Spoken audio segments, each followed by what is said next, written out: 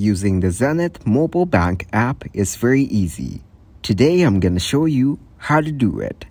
After you have downloaded the application, you can register as a user of internet banking or as a user of internet banking.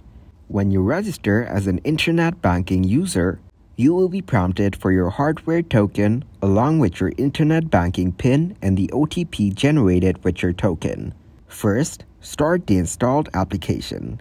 Then enter your account number. Make sure the internet banking user is selected. Now read the terms and conditions and submit a request. After that, create a password.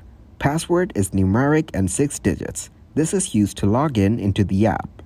Then create a mobile PIN, numeric and 4 digits, which is an alternative way to consume transactions. Here, you will be asked to enter your PIN plus token. Once it is successful, the next page you will see is the sign in page. To use the service, enter your registered account number and the password that you created during registration.